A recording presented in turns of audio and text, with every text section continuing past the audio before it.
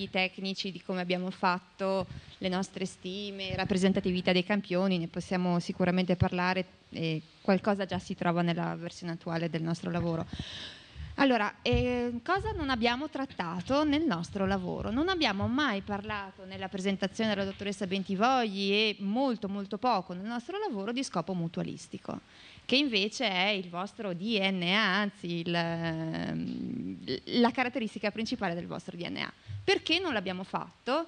Perché non l'abbiamo visto? No, è stata una scelta, una scelta anche che abbiamo discusso molte molte volte io e Chiara e di fatto è stata una scelta narrativa che era volta a stressare, veramente stressare al più possibile il confronto tra le cooperative e quelle che noi chiamiamo scherzosamente le imprese K.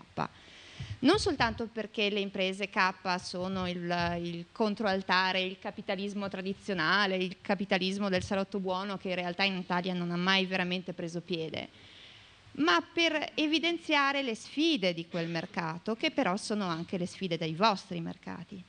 E, e, mh, mm, sfide che secondo noi sono appunto tanto più rilevanti proprio per quell'elemento dimensionale che non è semplicemente un vezzo, essere un'impresa grande oggi significa avere eh, gli strumenti per affrontare le sfide, eh, economie di scala, capacità di attivare risorse finanziarie, capacità di attrarre risorse umane, cose che ad esempio internazionalizzazione, tutte cose che ad esempio alle piccole imprese sono invece precluse o molto molto più difficoltose. E rispetto a quello, alla questione dimensione media, la, la questione dimensione media secondo me è ancora più rilevante non soltanto quando si dice ah le cooperative sono più grandi, ma sono anche diventate più grandi, cioè mentre il sistema produttivo italiano negli ultimi vent'anni si è frammentato, delle, il, il, mondo cooperativo si è espanso e questa controtendenza merita sicuramente un'attenzione. Ora, essere grandi significa anche essere complessi. Le sfide sono altrettanto complesse, quelle di un mercato che anch'esso è sempre più grande, sempre più globale, e c'è lo scopo mutualistico. La domanda a cui noi non riusciamo a rispondere è questa, ma lo scopo mutualistico è un ulteriore elemento di complessità in più? Io sinceramente eh, devo dire che quando vi sento a volte mi sembra che la risposta sia sì, però a questa domanda dovete rispondere voi eh, fondamentalmente, perché questo dal punto di vista eh, concettuale e analitico noi a questa domanda non potremmo che dare soltanto risposte abbastanza parziali, almeno questa è mio, la mia sensazione. E c'è anche da capire effettivamente che cosa voglia dire scopo mutualistico, perché in una visione anche, forse anche un pochino più romantica uno verrebbe da dire che scopo mutualistico può anche essere, dire, può essere l'ottica di lungo periodo, può essere ehm, la possibilità, la voglia di accettare le sfide di cui questo paese ha bisogno. Ripeto, è una complessità in più?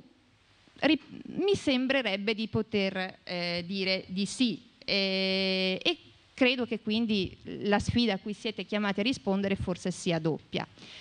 Credo anche che in un certo qual modo voi ne siate anche consapevoli e questi incontri che abbiamo avuto prima alla Lega di Bologna e oggi mi conferma questa ipotesi e mi conferma anche una cosa, cioè che il nostro studio eh,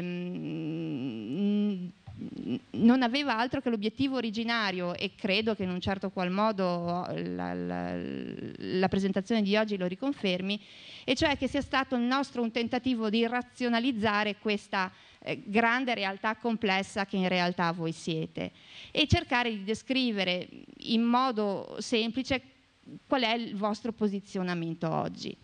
Nel far questo speriamo di averlo fatto con l'onestà intellettuale più elevata che potevamo e dobbiamo però anche sottolineare che per questo vi vorremmo anche ringraziare perché comunque sia eh, per noi eh, tendenzialmente di impostazione, eh, anzi parlo per me perché la dottoressa Ventivogli non vuole, neoclassica eh, è stata una sfida ed è stata una sfida divertente studiare Ehm, questo oggetto strano che sono le cooperative. Quindi grazie per questa opportunità.